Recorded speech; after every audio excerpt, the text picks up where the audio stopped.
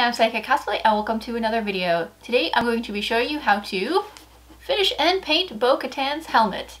I had a lot of requests on the building and making of video for how to paint this and so I thought today I would do a little making of on how to finish and paint this helmet. If you have any questions after watching this video, don't forget to leave a comment down below, like and subscribe, and let's get into making this helmet. The first step in finishing the helmet is sanding down any uneven seams. To do this, I'm going to use my Dremel and lightly go over all the seams on the helmet. Once you have finished sanding, the next step is gap filling those seams. Before we get into gap filling, a quick pro tip, if you haven't made too much of a mess, using a lint roller to clean up your space is a really easy and fast way to pick up any EVA foam dust. Before priming, to clean up the seams and to make them nice and smooth, I am using Quick Seal to fill in any gaps. This is a silicone based caulking material that's usually used as a kitchen caulking or bathroom caulking, but this works really, really well on foam and is really super cheap. This is a water soluble material, which means you can use water to thin it out and thin out the edges. I use foam scraps and my finger to fill in and smooth out any gaps. One thing to note with Quick Seal is that it does shrink as it dries, so I usually use more than one layer to fill in any gaps. On this helmet, I used either two or three layers on all of the seams.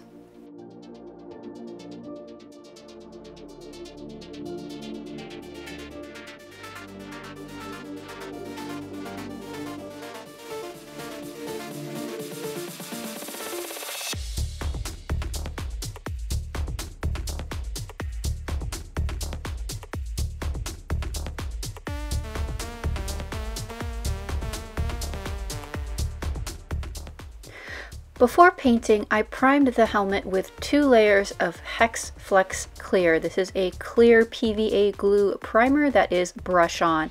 You can prime with anything that you want as long as you do prime your helmet before painting. For painting the helmet, I'm using my airbrush to give the whole helmet a base white. This is going to make the paint much more even across the whole helmet. And the front of the helmet is white, so I'm taking particular care to make sure that the paint is nice and even on the front of the helmet. I am using a top-loading Master airbrush model G22 if you're wondering what I'm using or want to get one for yourself. And the compressor that I'm using is also a, a Master compressor. If you don't have an airbrush, you can paint this by hand very easily, or you can paint this using spray paint. Either way is totally fine. I am by no means very good with the airbrush.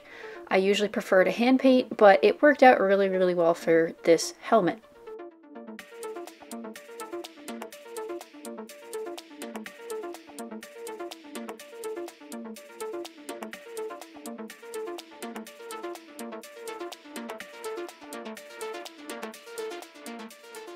Once all of the white was done, it was time to tape off the front of the helmet.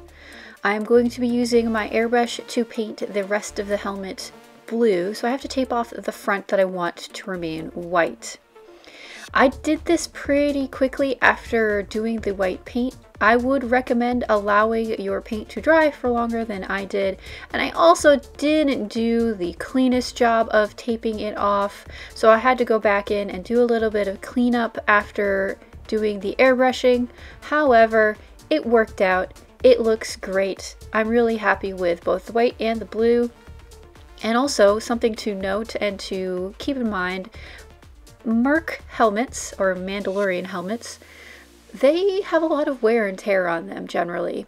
And the way that they're painted, they have a lot of scuff marks and imperfections. So if your paint job isn't the most perfect on the face of the planet, don't worry about it. Battle damage.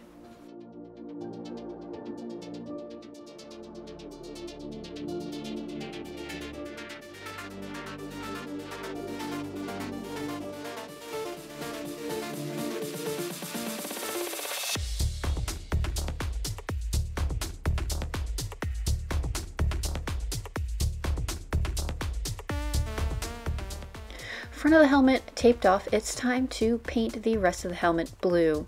I did this in two layers. The first layer of paint is actually a mixture of blue, black, and white paint.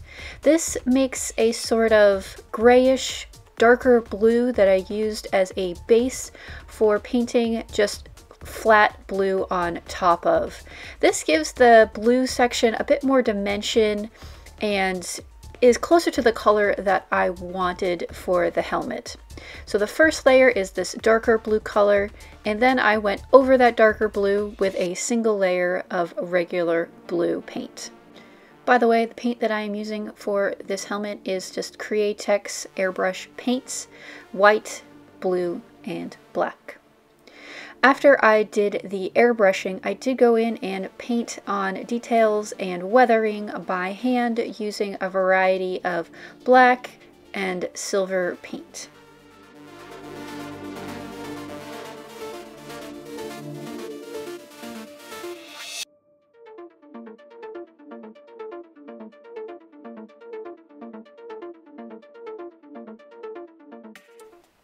I don't know about you, but removing masking is one of the most satisfying things about painting cosplay or props or armor. So I'm just going to leave all of this lovely detaping footage in for you to enjoy.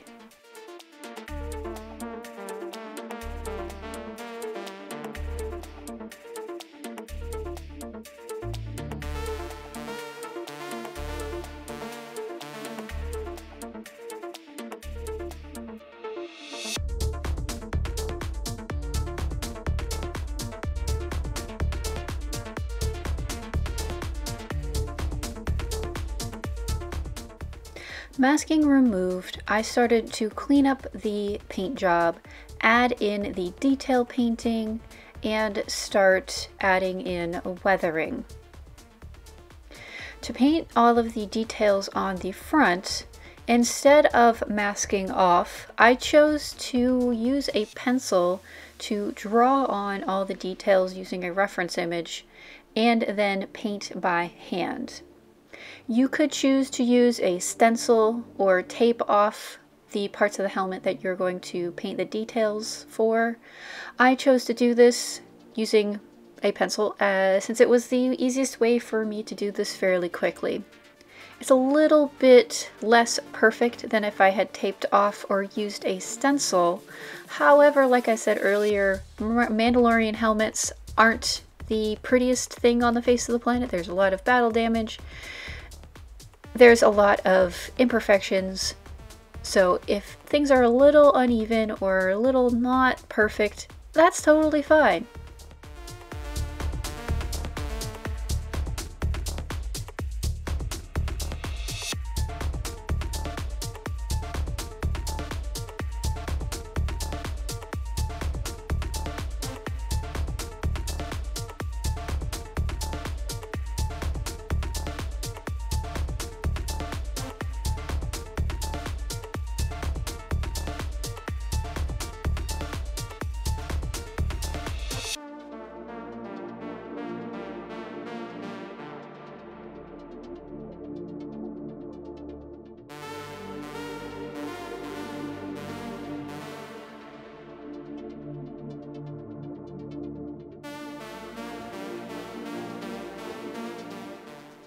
To finish off the helmet, I added a lot of silver to make the helmet look worn and used.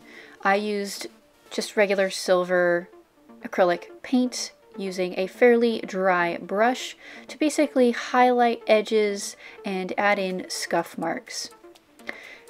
Once you've added in all the weathering that you want, you're done. And that's how to finish and paint Bo-Katan's helmet.